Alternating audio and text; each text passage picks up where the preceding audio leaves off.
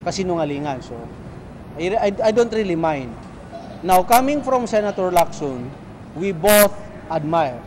I admire Senator Lacson dahil uh, isa, nag-isa na lang siya sa Senate na hindi tumatanggap ng pork barrel. So it symbolizes some some uh, regularity in him. May katinuan siya. Yan ang tingin natin lahat. And senior natin siya bilang isang sundalo. I admire him, I respect him. That's why I was shocked when he come out with this irresponsible announcement under the cloak of their immunity. Kasi privilege speech eh. Now, tinetext ko si Senator eh. In fact, tinext ko today kasi nag-text siya sa akin. He wants, he wants Ted to talk to me in my free time. I asked him, why? Sir, why? Why, sir, did you destroy the reputation of officers we both know not corrupt. I'm addressing that again to you, Sir Lacson. Bakit mo sinira yung reputasyon ng mga tao na parehas natin kilala na hindi mga corrupt? What is your motive? Kasi yun ang tanong eh, ano ba motive mo, Sir Lacson? To destroy us. Ito yung sasagutin ko sa inyo. Okay? Ah... Uh, Actually, six month pa lang yung team namin sa customs. For the first six months, I was in customs alone. I was in customs alone.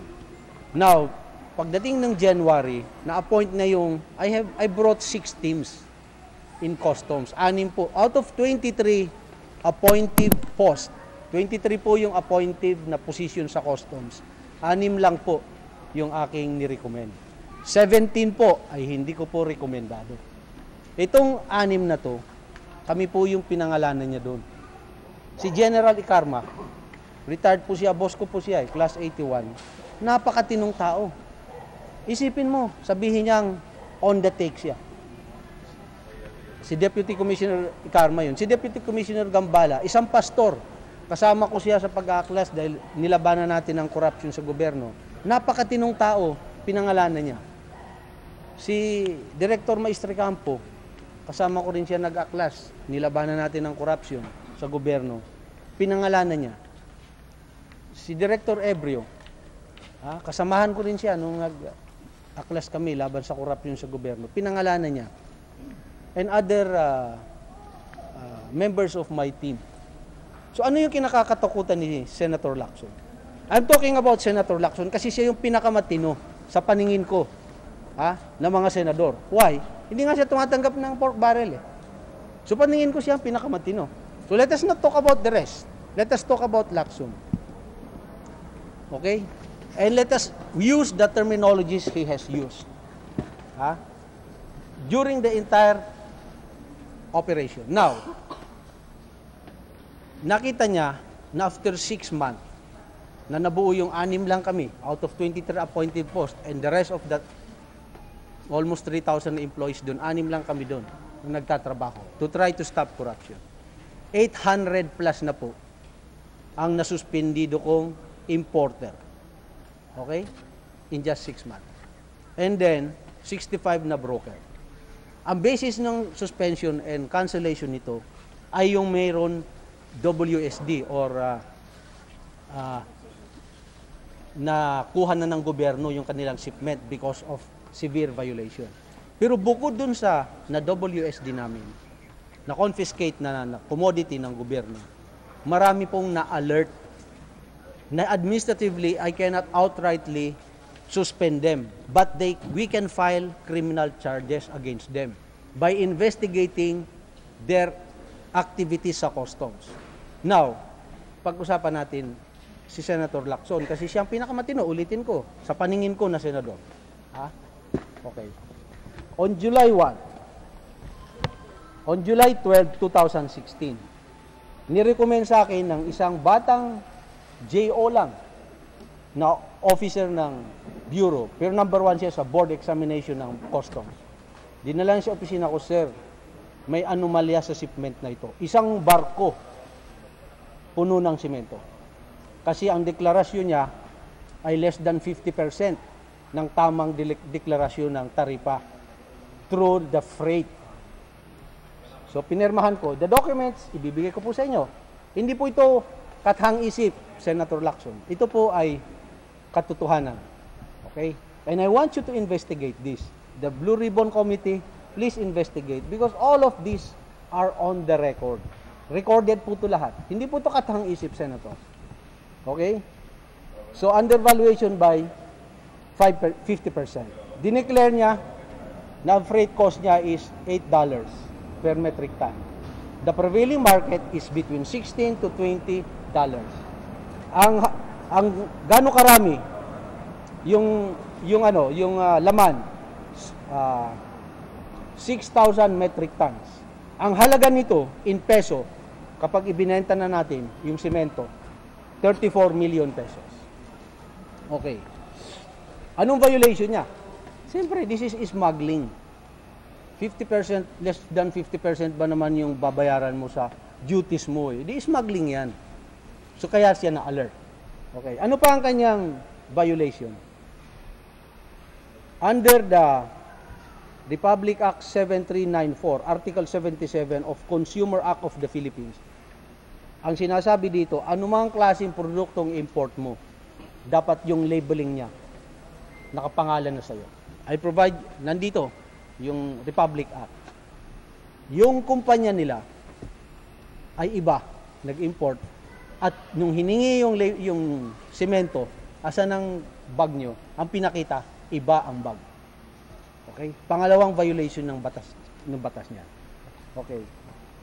That is July 12. This is just 12 days after I assume office. That's why I, I rely on the JO na dinala ko. Na batang-bata, ito, she was just 20 years old, but she was very bright. Siya yung tumitingin sa computer, in my office, randomly, nakikita niya itong malalaking violation, 50% eh. Okay. The following day, bumalik uli sa akin, the same person. That is July 13.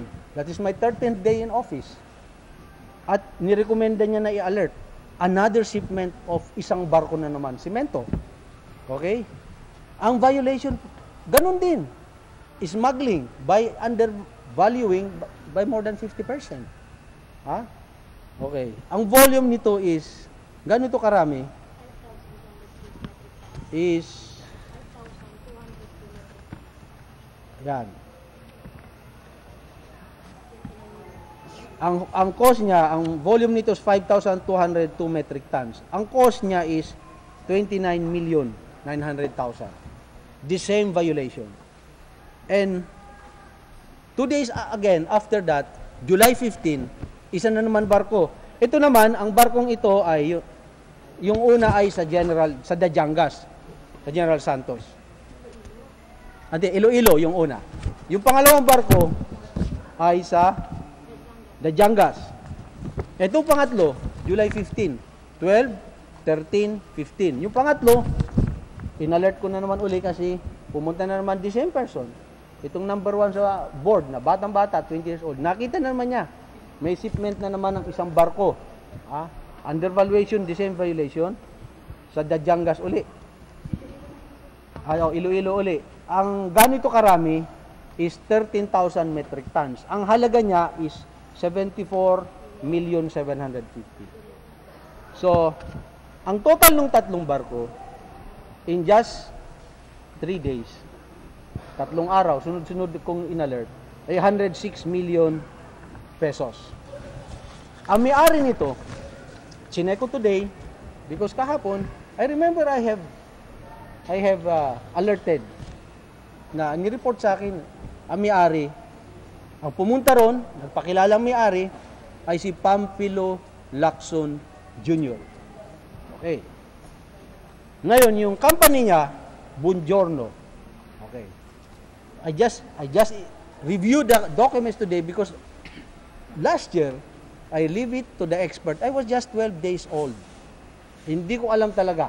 I have to admit. Hindi ko alam kung gaano katotoo mga documents. Pero in-alert ko kasi malinaw na undervalue.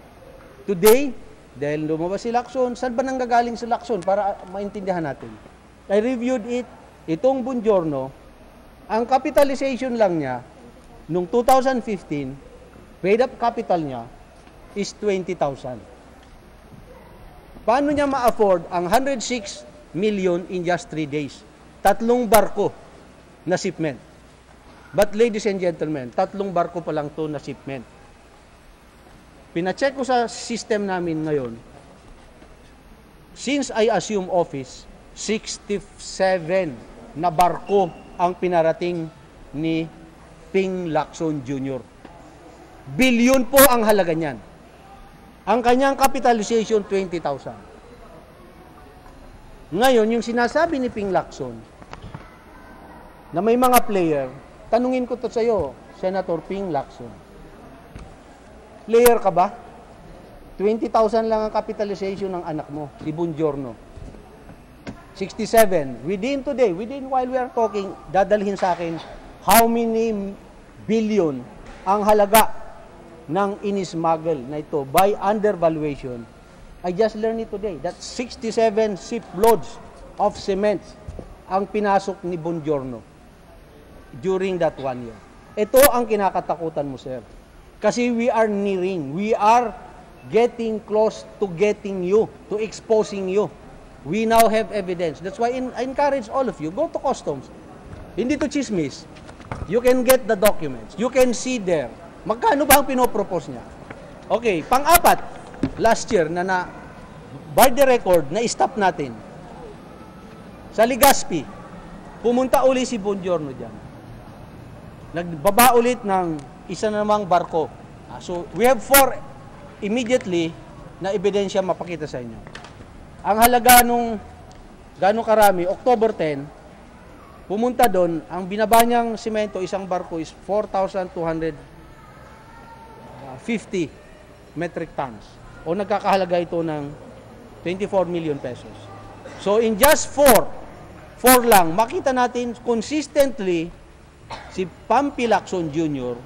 wants to pay 50% lang nung freight cost niya. Nagpap, nagbibigay sa atin ng peking dokumento to try to justify. Itong October na ito, nagpadala pa siya ng abogado niya to try to justify na $8 lang. The prevailing market sa buong mundo is between 16 to 20 dollars. Pero sila gusto nilang babayaran ng 8 dollars lang. Okay? Ito yung smuggling na ginagawa nila. By the billions po. Now, tanungin nyo rin si Bongiorno. Magkano na ba ang taripang nabayaran mo sa gobyerno? Para ma-compute nyo. Magkano naipasok niya? Ibibigay ko sa inyo yung figure of that 67 shiploads na pinasok nila. Magkano bang binayaran yung taripa? Magkano bang binayaran yung tax? Dahil ang dami yung simentong dinala sa bayan. Now, kung di magtugma yan, by the hundreds of million, smuggler po kayo, Senator Lacson. Unless sabihin mo sa akin na hindi mo alam ang activity ni Pampilo Lacson Jr. Dahil kung hindi mo alam ang activity ni Pampilo Lacson Jr., wala kang alam sa customs. Anak niyo po siya eh. Kapangalan niyo po siya. Ito pa ang ginawa ni Pampilo Lacson nung July. Okay, junior. Ah, nung July. Habang nilalakad niya, he went to my office five times. I never met the guy. Dahil hindi ko alam ang sasabihin ko sa kanya. 12 days pa lang ako. I said that itong number one sa brokers, 20 years old, and some of my staff, kayo magpaliwanag kay Mr. Lacson kung anong violation niya. So he went there five times. Sa office ko, in my conference room, I never sat down with him. Okay? We give, we try to give Mr. Lacson the benefit of the doubt kasi nga good image nga siya eh. Good image. Ngayon, on the third visit, okay, and these people na kaharap niya mismo will be named in the right forum. That's why ngayon pa lang, Blue, Senate Blue Ribbon Committee o any court, imbestigahan natin to. Because this is smuggling of smuggling of uh, cement by the billions by high-ranking government official. Okay? Nagdala ng pera doon si Pampilo Lacson Jr. At sinabihan niya yung dalawang staff na kaharap niya. Kasama yung number one sa sa board. Sa inyo na po ako magbabayad. Eh alam na pa na, alam naman po ni Mr. Lacson na sa office ni commissioner wala pong kahera doon, wala pong babayaran doon. Nagbabayad po tayo, lahat ng bayarin ay diretso sa bangko. Bakit siya nagdala ng pera doon at sasabihin niya doon sa staff ko na sa inyo na po ako magbabayad at pinakita niyo yung dala niyang pera? Ano po ang ibig sabihin niyan? Matagal na po siyang importer. Bihasa na po siyang importer. Is he trying to bribe my staff? He has to explain that also. But ako, 12 days pa lang ako sa opisina ko. Eh. I give the senator the benefit of the doubt na matino siya. At kanyang yung kanyang anak. Iniisip ko, baka hindi alam ni senator tong kalukuhan nitong junior niya. See? I, I give him the benefit of the doubt. But today, yesterday, he seems to know everything in the Bureau of Customs. That's why I, we can now ask him, do you know this? O ikaw mismo ang may pasimuno nito, Senator Lacson. Anak mo to eh. Now, Senator Lacson, I have texted you several times and I assured you that I am the number one person who wants the truth to come out. Why did you come up with your... Ano yan? Gusto mo tumakbo uling presidente? Gusto mo magpasikat? At the expense of our family? You want to destroy people like me? And the names of the officers in my team? You know them that matitino sila eh. That's why I cried sometimes during the hearing. I pity the families of these people you are destroying. Nagtatago ka dun sa immunity mo. You have an ambition to become president. You have proven that already. Tumakbo ka noong 2004 eh. Gusto mo ba tumakbo uli? By destroying me, by destroying the few people that I brought in there to try to find out what's happening inside the Bureau. Now you know, mga kababayan, that is, this is Senator Lacson. Hindi to chismis. I provide you the documents. I provide you the documents. And the documents, the evidence will bear this out. Patutunayan niya ito. Senator Lacson, this is not chismis. Hindi to kathang isip. Kagaya ng paninira mo sa amin. Isa kang smuggler. If you deny knowing this, you have nothing, you know nothing about customs. The more so, na sinungalin ka. Kasi kung di mo to alam, wala kang alam sa customs. Eh, ba't ka naglabas ng kung ano-ano? I don't know the other people there, but I can vouch for my team. Matitino sila, Senator Lacson, at alam mo yan. At alam mo yan. Now, mayroon kayong common denominator eh, na maiingay dyan eh. Si, si Senator Trillanes, pinatunayan din niya na ma- matas ambisyon. Tumakbo nga siyang Vice President eh. Naka 800,000 siya out of 54 million na botante. Ikaw, naka ilan milyon ka nung tumakbo kang presidente. So, may, gusto niyo maging magpasikat eh. Okay lang magpasikat tayo, sir. Pero not at our expense. Please, don't lie to the people para magsumikat ka lang. May pamilya ka, eh. may pamilya rin ako, may pamilya yung masinisiraan nyo. My God, you are senator, you are respected. And when you lie, it is your responsibility to make sure that your statement will be investigated and bring to justice everybody. And have the courage to stand up and say, I'm sorry, Commissioner Faeldon, hindi ka pala kurap. I'm sorry, General Ikarma, hindi ka kurap. I'm sorry, Deputy Commissioner Gambala, hindi ka kurap. I'm sorry. Director Maestro Campo, hindi ka kurap. I'm sorry, Ebrio, hindi ka kurap. You also have to have that courage. Hindi yung sisiraan mo kami para magmukha kang anghel. Ito, ito ka.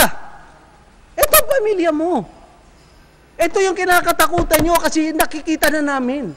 We will bring you to justice. That's why you want us out.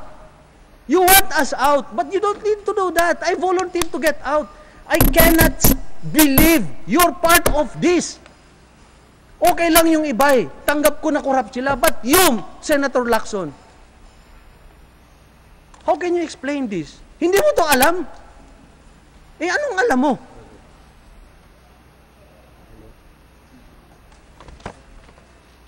Mga kababayan, that is This is the state of our politics today. Ito ang kalagayan ng ating politika ngayon araw. Naaawa ko sa ating bansa. Naaawa ko sa atin lahat. Dahil itong mga nakikita natin, iniidolo natin, eto sila. Eto sila.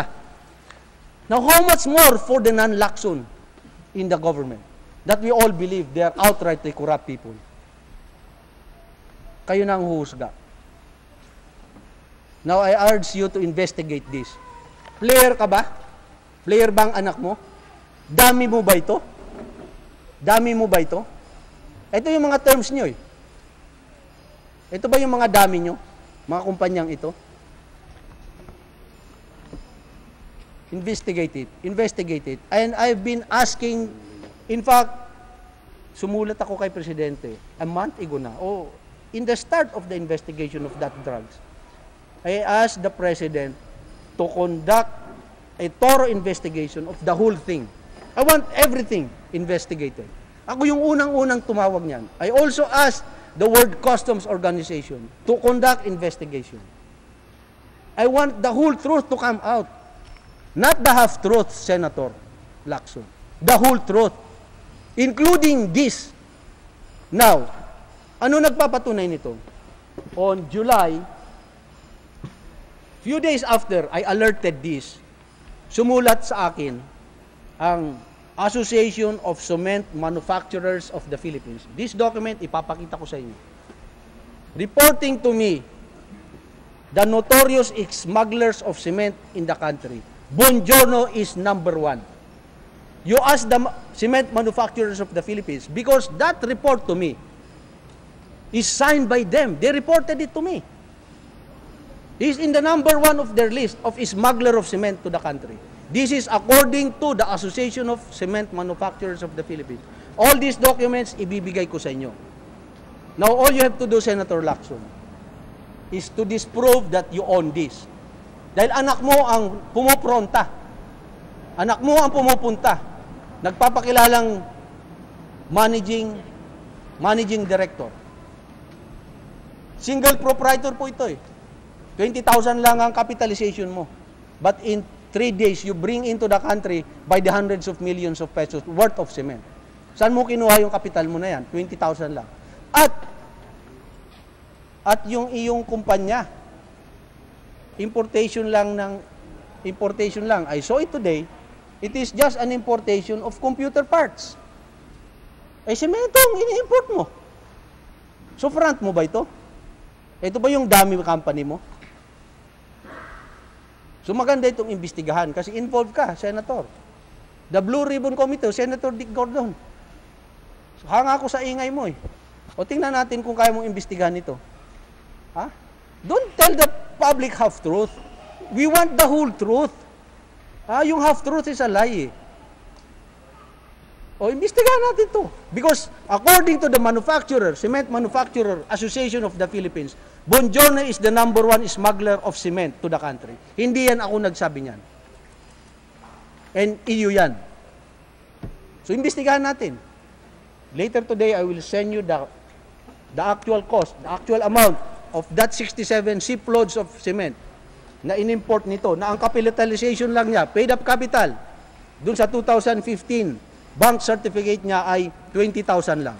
Makikita nyo that it is by the billions. Now, Senator Lacson, the responsibility to investigate this is no longer in my hands. But I'm just showing this to you na isa kang pinakamatinong tinitingal akong government official and this is your participation. Now imagine, ladies and gentlemen, mga kababayan, kung ano pa ang transaksyon sa loob ng hindi kasing tinon ni Senator Lacson. Kayo na ang huhusga.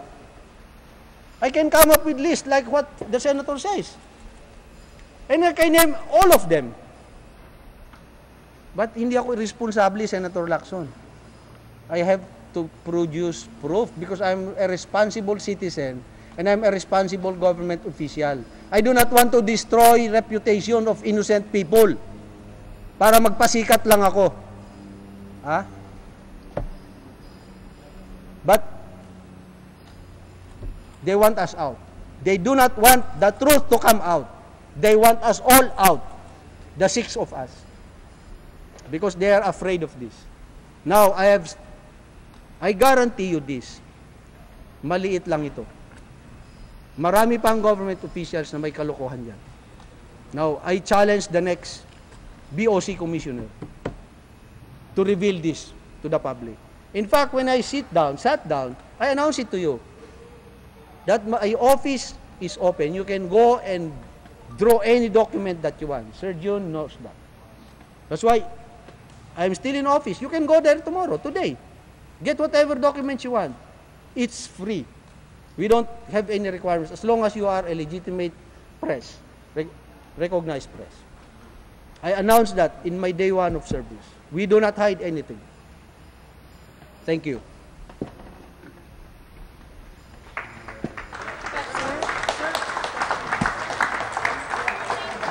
Sir, sir, few questions, sir. Sir, please sit down, sir.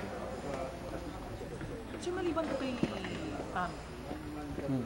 meron po bang ano, ibang government official pa na mag-anak na involved sa smuggling? Can you name names? I, I just talk about Senator Lacson because, again, he has categorically named me as on the take. I, I just want to show na ang isang matinong Senator Lacson, ito yung transaction sa loob ng customs.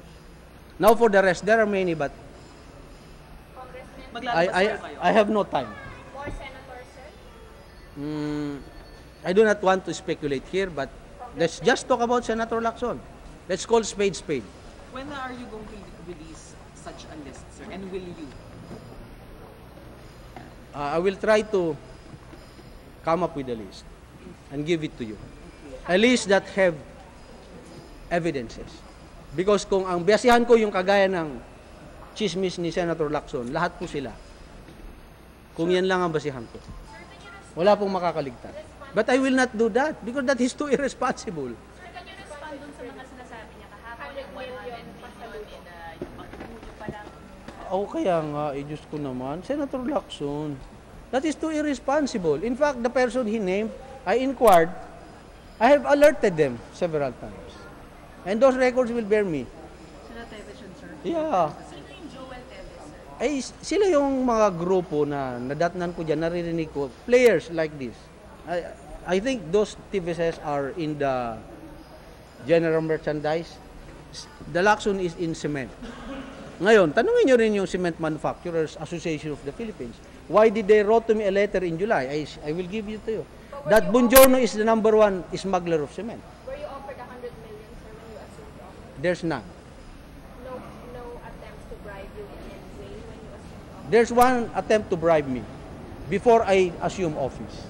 But it's it's not 100 million. It's 300,000 something weekly. Sino, sir, You are worth 300,000. Weekly. Mm, by by one importer. But it is not the direct importer. It is a third person who went to me. Eh, Sabi ko gago, kalukuhan niya yan. I don't I don't accept any form of gift. Kasi hindi naman bribe ang tawag nila eh. It's a gift. So approached? 300,000. How were you approached? Uh, it, it's a text. It's it's a text. Of, it's a random text. Sir, tanong ko lang since you mention yung kay Pambi Lacson and last year pa, file any case, sir? Uh, I'm sure there was an efficient time for you to conduct investigation. Uh, ito kasi, inuna natin yung outrightly na meron ng uh,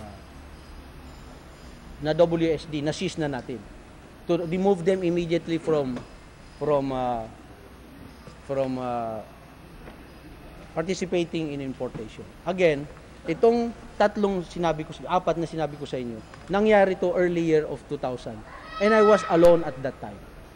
So, the conduct of investigation, because hindi siya na WSD, pumayag siyang magbayad na lang 16,000, 16 pesos, ah, 16 dollars instead of 8. Inadjust niya. So, clearly, there is an attempt. It is an attempt. So, Kung nakalusot siya, nirectify niya. Okay? Rectified niya. So, it's actually a 50% because from 8, ginawa niyang 16. Who was forced to pay the right amount? Yes. Dahil na, dahil na hold. But you said 67 shipments. Yes. And all of these shipments, sir, I, I, I, I just learned it few an hour ago that it's 67 in my entire term. What I know is just four ship loads. Yun lang ang alam ko until last night. But I was informed today na 67 po pala. so the rest, sir, paid 50% under It's going to be revealed to you. How much did he actually pay? Did he pay 16 dollars or he paid the 8? It's going to be revealed, Senator. That's why investigate this. It is your son's activity. It is your activity. Sir, That I'm borrowing your term in the Senate. sir, si Representative Nograles and Barbers are also criticizing you. Meron din po ba silang transaction? Ay nako. This is this is ano, this is about Senator Lacson. Because pabayaan na natin sila.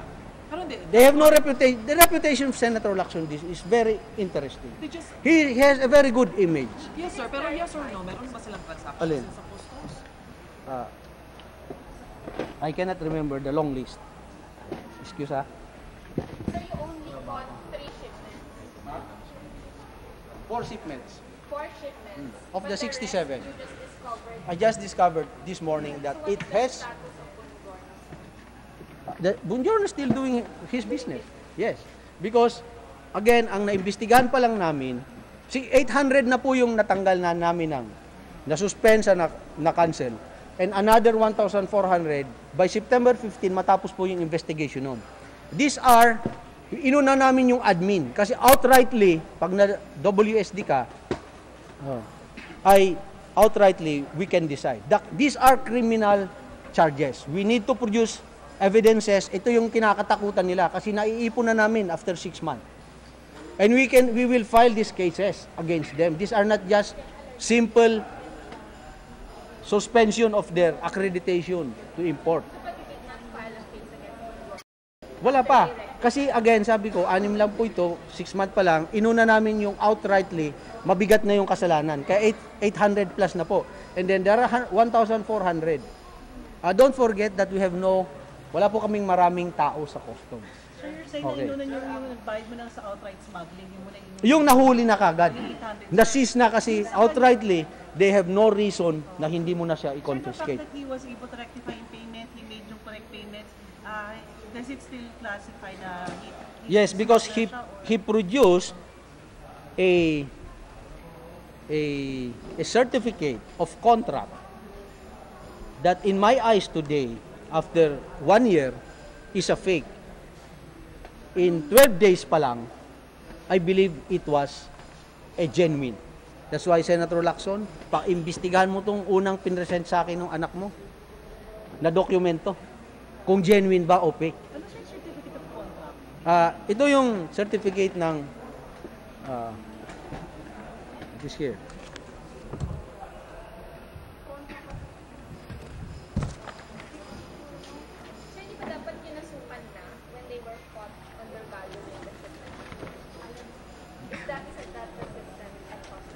Itong unang tatlo, nung July, after one month na pabalik-balik siya doon because we need, we, we request him because under the law, he should produce, if we have doubt, he should produce a, a document that proves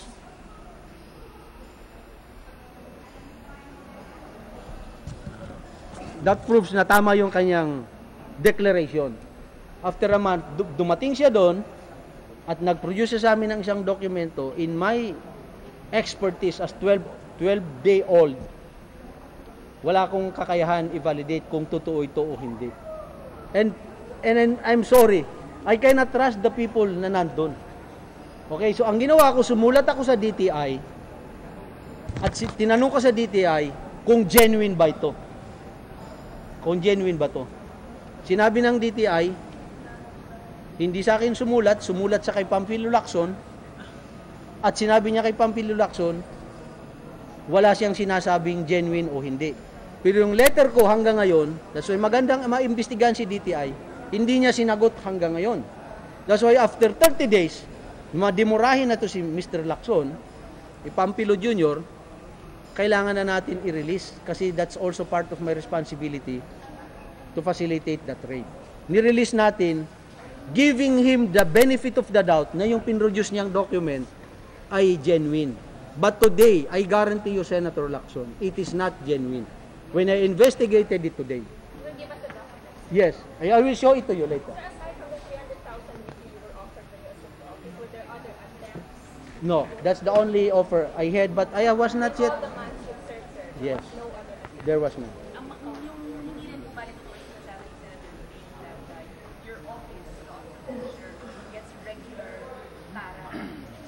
Uh, that has to be investigated by the senator. I would like to know if there are of, of officials under the office of the commissioner because wala naman akong dinalang regular employees sa, opi- sa opisina ko.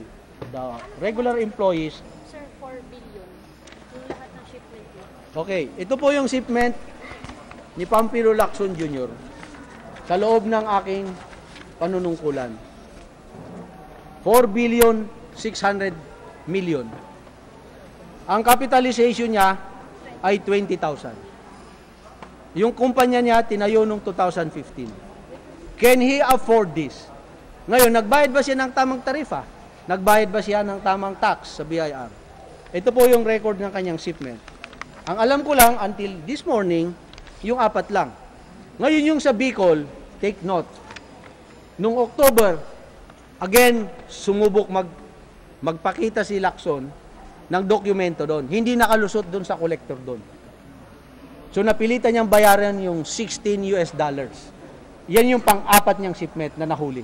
So, yung tatlo ang naka-alert. Oh, Pero yung the rest, hindi na alert. so ibig sabihin, okay yung the rest. Malalaman natin. Malalaman natin. Magkano ang kanyang declaration? Okay, magkano ang kanyang declaration? Nagbayad ba siya ng... Kasi nung October, nagbayad siya ng $16 dahil hindi siya nakapag-produce ng dokumento. Nag-produce siya doon ng dokumento. Binrifa ko kanina nung nung ah, collector. My God, Senator Lacson, your son produces a document na hindi pinirmahan ng kahit sino. Certifying that it is genuine. That is your son. Yung una niyang ginawa, makikita nyo, at kayo magsasabi kung genuine yan,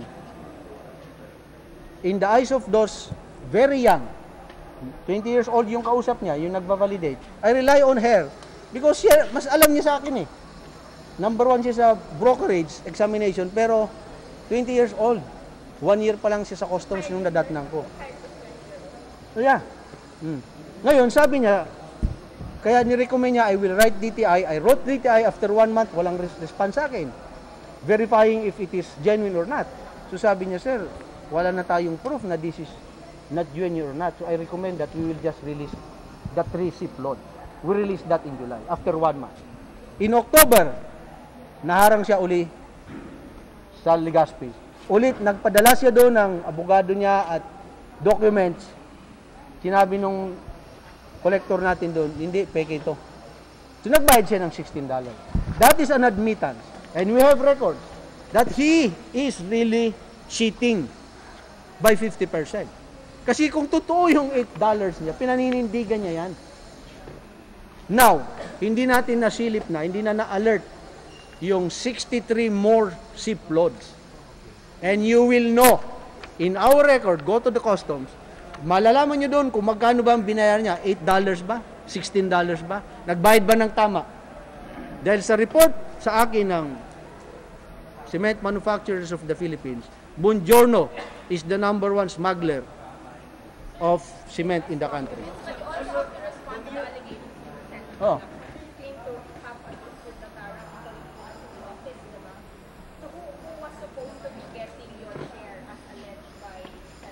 you, you ask the senator. I, I, I did not listen to his speeches, but if, siya siguro tanungin nyo, and imbestigahan niya. Bring these people to justice. Investigate me, investigate the people na pinangalanan niya. Because that is too irresponsible. Gusto mo magpasikat? Maninira ka ng pangalan ng tao dyan without evidence.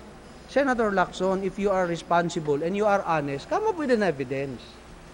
Siguro sir, let's explain to the public how you address yung Tara system that you to correct. Ito yung, this is how we're addressing it.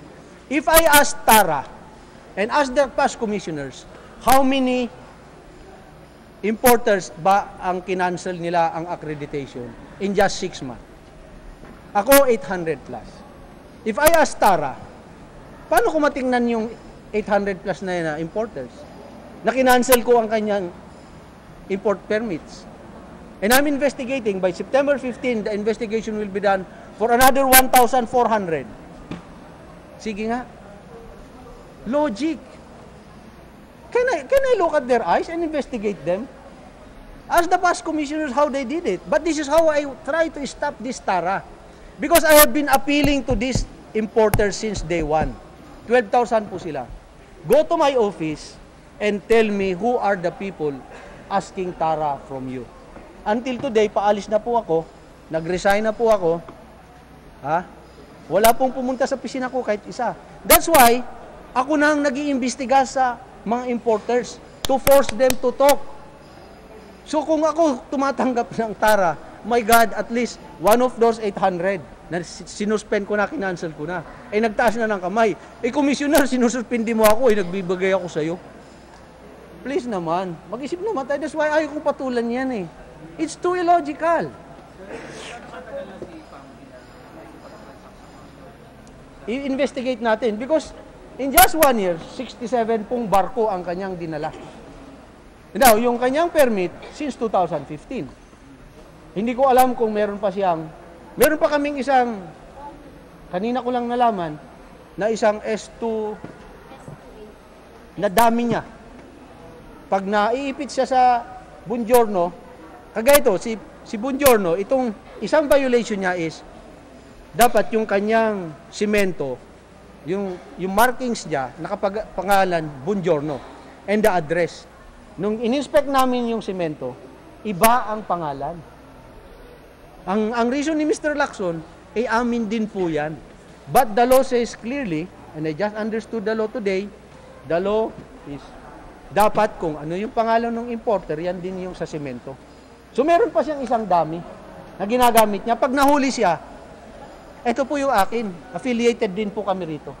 Ganito po yung trabaho ni Pampilo Lacson. So magandang magandang imbestigahan. Opo. Hmm. Pero yung 63, walang problema. Kasi hindi nahod. Eh, hindi siya na-alert. Hindi ibig sabihin wala siyang problema. Hindi siya tinama ng random na red. Hindi siya, because there are 4,000. 4,000 transact, uh, yeah, more than 4,000 transactions every day. And then yung tao na nagmamanage nito, sa opisina ko, dalawang batang babae lang. Now, dun sa port, dapat sila yung nag-alert. Hindi ko alam kung sinong kakutsaba ni Ping Lacson, Pampi Lacson, dun sa port, kaya siya nakakalusot. Kasi collector eh. Kung titingnan nyo sa Republic Act 10863, the responsibility to stop smuggling and smuggling and bringing of any contraband to the country rest dun sa kolektor. Ito yung ayaw sab sabihin ng mga investigador. They trying to blame me. That is not my job, senators. Look, you can read your laws. That is the responsibility of the collectors. That's why wala akong wala akong kakayahan, wala hindi ko nakikita. It is the collectors na pinupuntahan ng mga smuggler na ito. Yung kanilang mga examiner, yung kanilang mga appraiser and the collector. It doesn't pass through my office. Sir, kung, kung hindi ka ba naipit, ilalabas ko rin yan. Ha? Kung hindi ka ko rin yan. Ito? Yes. Be- pero kasi, I do not want to come up with a story. I want the truth. Yan sinasabi ko, I want to be focused on these drugs. Pag natapos to, I intend to say my piece. But I cannot wait dahil pinangalanan ako ni Senator Lacson kahapon eh. I have to tell the public his motive. He wants to discredit this. But these are documents, these are proof. We will investigate. We will come. We will present to you in details with this proof who are these people. And that is what they're afraid to have. Takot sila eh. That's why summarily, kayo mga kutsaba nila sa loob, sila yung nagbibigay ng mga maling info. Senator, sino ba yung nagbibigay sa iyo ng impormasyon? Baka ito yung kakutsaba ni Pampi Lacson. Para talagang hindi ko nasasabihin to o di na ma- madig, madig ito. Ha? Please naman, come with some, some semblance of evidence naman. Wag, wag, again, wag kayo magpasikat. Para sirahin nyo kami, para sikat kayo. Para magtatakbo kayo uling presidente, ganun ba? Did you inform the president about This no. No. Because I want to come up with a complete report. Again, sabi ko sa inyo, anim lang po yung tao ko dyan. Six months pa lang po kaming nag-imbestiga. Pero nakita nyo gano'n na karaming nasuspende namin. These are just administrative. These are criminal cases. We have to be very careful. We have to produce evidences to file criminal cases against these people. Dahil idolo natin sila eh.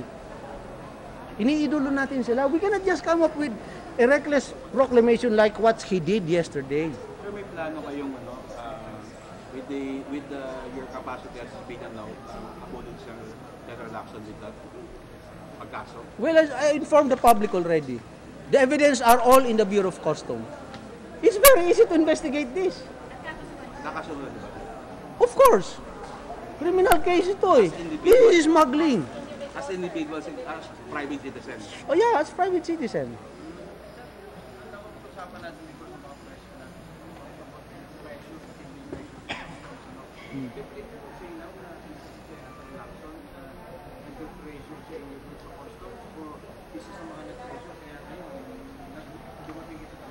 Hindi. You know what I really do not like sa Bureau of Customs is the environment. In, ito, I have to be honest with you.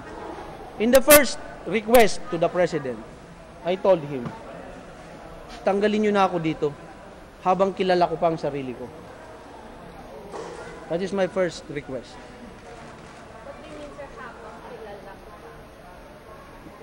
Eh gusto mo na maghuramentado eh. This is foul. Kawawang taong bayan eh. Kawawang taong bayan sa nangyayari sa customs. Kawawang taong bayan.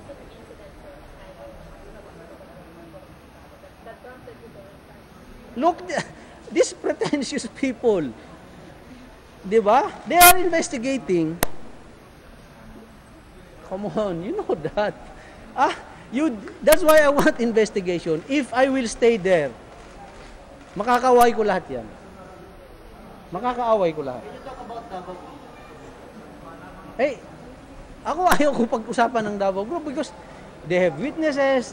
It's all in the... Baka kagulo lang ako dyan eh. Wala kang personal experience. I have no personal experience dealing with them. They don't deal with me if there is such. Sir, yung kay Paolo Duterte. Sa TV ko nakita, sa investigation ko narinig si Taguba. So, wala nakakita. That, that's why, ano no? During your investigation, while you were there, sir, hindi mo na-encounter yung so-called Davao no, no one has ever introduced himself to me as Davao Group and asking for illegal request. Because when you say it's smuggling, this is smuggling. This is illegal. See?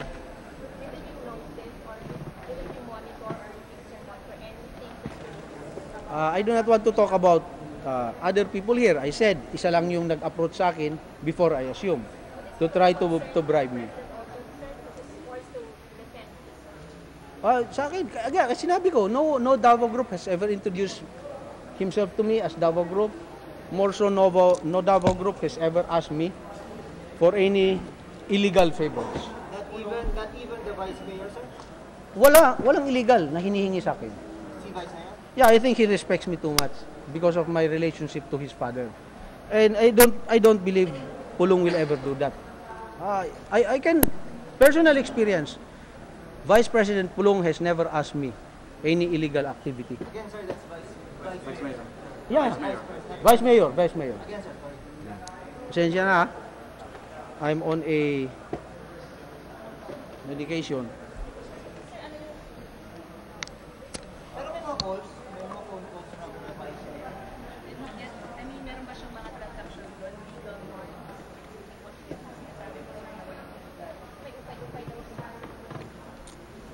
Sinagot ko na po kayo. I think you have to ask him. I'm, I'm not his caretaker. I'm not his lawyer. I'm not his spokesperson. I've, I've, I've answered you already.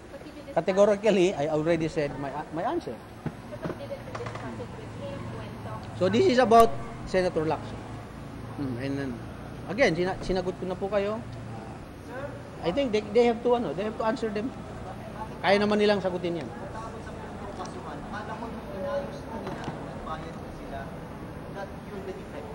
Yung as far as this, as far as these three. Yes, sir. Yeah. But for the 67, let us see if they they undervalued. See? If they undervalued. Hindi pa sure na mag-file kayo ng case as a... If the 67, 63 more shiploads of cement, they have undervalued by 50%. There is a strong case against them. But this is actually, this is already, in fact, one, yung sa Bicol is already an attempt to smuggle. Now, let us see And you can get that record within the day. You go to customs. If they paid only $8 per metric tons, that is 50% undervaluation of their duties. And that is already a criminal case. Hmm. Apat lang ang nakita natin. May problema. Out of the 67? Hindi, directly na ni-report sa akin. The 63 is unreported. I asked, are there, apat lang ba ang shipment ni Pampi? So they checked the system this morning and they reported back to me, 67 po. And 4 billion po mahigit. At may duda ka rin dun sa 63? Yes. 63. Na hindi to nagbayad ng 18 or 16 US dollars, baka 8 dollars lang ang binayaran dahil hindi dumaan sa akin. Ako lang ang nakakapagpabayad sa kanya eh. Natingnan natin kung yung dinaanan niya. Yung nahagip ng tao ko, napersa natin. Okay? Yung hindi namin nahagip, dumiretso siya sa port siguro, tingnan natin. Ngayon, makikita natin sino bang kakutsaba niya. Saan niya pa dinadala ito? The prevailing uh, value talaga is, ng freight is between 16 to 20 US dollars. Siya, yung, yung apat na yan, 8 parating dinideclare niya. That is less than 50, more than 50% lower. And in fact, noong October, hindi na siya nakalusot. Nagbayad na siya ng 16 US dollars. The documents will prove. Ibibigay sa inyo ng mga staff yung documents na. He texted me this morning. I texted him yesterday after I heard about his declaration. Where's my phone? Sir, can you, can you show us? Yeah. I cannot show. I will read it to you.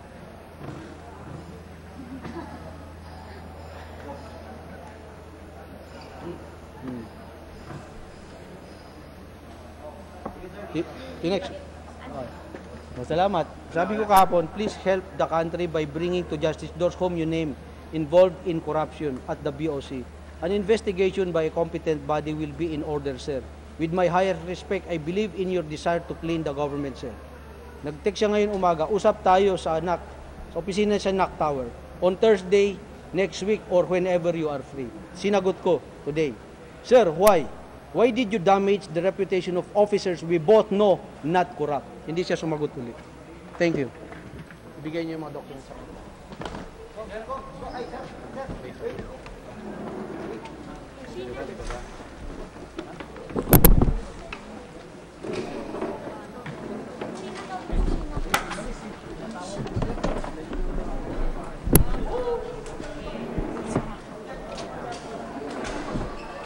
Push pa to? Sheena, patawag siya siya. Kuya Bong, pahingi naman. Miss, miss, pahingi naman ang document. So, okay na, lang lahat. Pwede, okay na po kayo. Pahingi ako, sir. Tina, record mo yan, ha? Miss, document. Sobrang dami. Isa lang kasi dito lang sa bahay namin ni. Kaya na lang ako.